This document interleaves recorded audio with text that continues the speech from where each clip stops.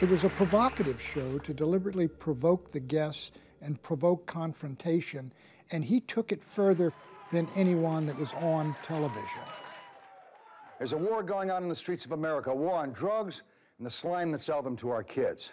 Former Congressman Ron Paul, how can you call for something un-American, the legalization of drugs? Because I detest the use of drugs, and I think we would have a lot less drugs used if they were legal.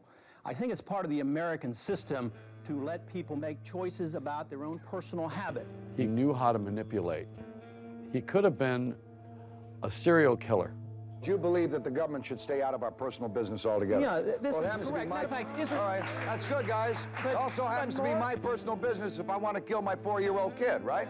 No, no, no, no. No? Wait a minute. Wait, you're Why? giving you're giving libertarian a distorted uh, explanation. No. If you're not tethered to the facts, that's incredibly entertaining. If you can just say anything, Yeah, yeah. You know, you're not tethered to the facts, right? But I will say this: Mort had amazing charisma on the set. He related totally on an emotional level. There's no intellectual level for Mort. Use of drugs and freedom. the issues, Listen, pal. let's go If I had a slime like you in the White House, I'd puke on you. Oh, Who's